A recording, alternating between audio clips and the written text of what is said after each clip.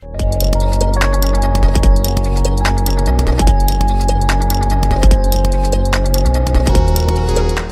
Apple is about to do the impossible move.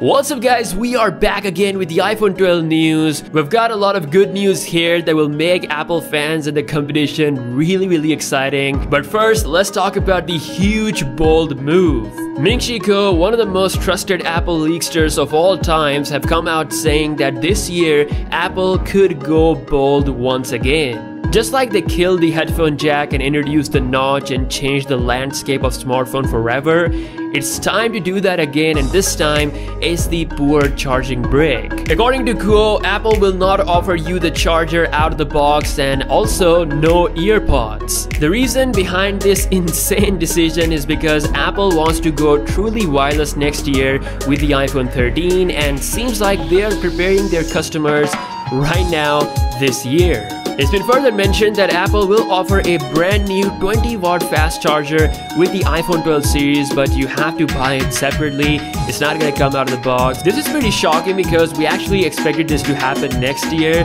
The iPhone 12 series is still rocking the Lightning port, so I don't really understand this early decision, but like I said, they might be doing this to prepare you guys for the future. It's unclear what the price of this charger will be. If you look at Apple's website, the 18 watt USB charger charger costs $29 so yeah definitely the 20 watt charger won't be cheap. It's gonna cost more than $30 for sure. Of course there will be cheaper options out there from third-party manufacturers but still it's a very Apple move indeed. Just imagine buying a phone and unboxing and then not having the charger out of the box. Are you kidding me? I'm pretty sure it's happening for the first time. It's definitely gonna be a very interesting unboxing experience. Again they want to go fully wireless in the future and this is why they're probably doing this. Let me know your thoughts in the comment section below. Also in the news, the iPhone 12 is expected to cost cheaper for real. Rumor has surfaced earlier that Apple has a fifth iPhone 12 model in the making that will offer 5G connectivity and cost $549 as its starting price.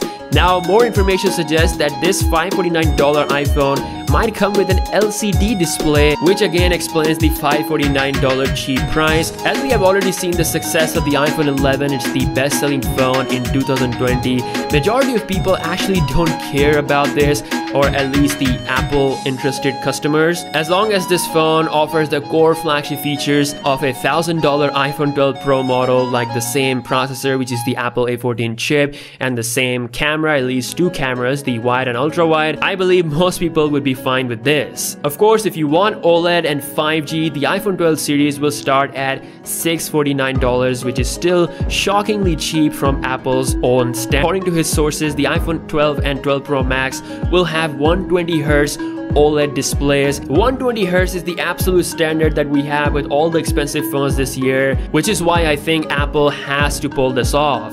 As we know, the iPhone 11 Pro Max is the king of battery right now. It's got a 60Hz display, but since the iPhone 12 Pro series are getting bigger, especially the Pro Max, which is now coming at 6.7 inches, the battery is definitely getting bigger. And most importantly, we're gonna see world's first 5nm Apple A14 chip, which is going to be a lot more efficient compared to the Apple A13. So I definitely think that the 120Hz on the iPhone combined with the 5nm chip and iOS 14 Apple can easily pull this off smoothly if all goes well. So that's all the news that we have on the iPhone 12. I have to say a bombshell news regarding the charger and the earpods not coming out of the box. Let me know what you think about this. If you guys are new here, be sure to subscribe and I'll catch you guys in the next one. Peace out.